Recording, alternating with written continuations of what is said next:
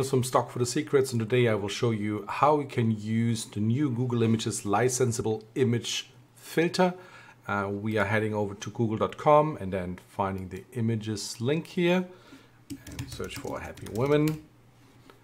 And then you need to find the tools part here on top right hand corner and then click usage rights you click commercial and other licenses.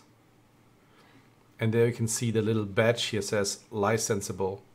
And you see there all the different stock agencies like the Shutterstock one here Dreamstime, iStock, Alamy and so on. So this is how the results will be shown.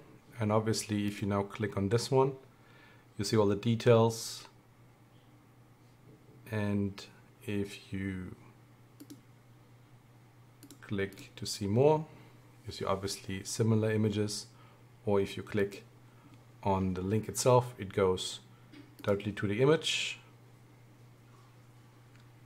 And there actually should be a link here but that's the normal link what everybody is seeing. Ah I forgot to show you this. This is the Shutterstock link and that's the license details which is also now linked in the data field IPTC data field of the image. So this is how you can then go to the licensing sorry, this is German, to licensing part. And this is how you go to Shutterstock. That's roughly how this works. It's a little bit hidden, but if you know how to use it, you'll find all these images with the new licensable batch here. And then you can license these images uh, on the stock agency site.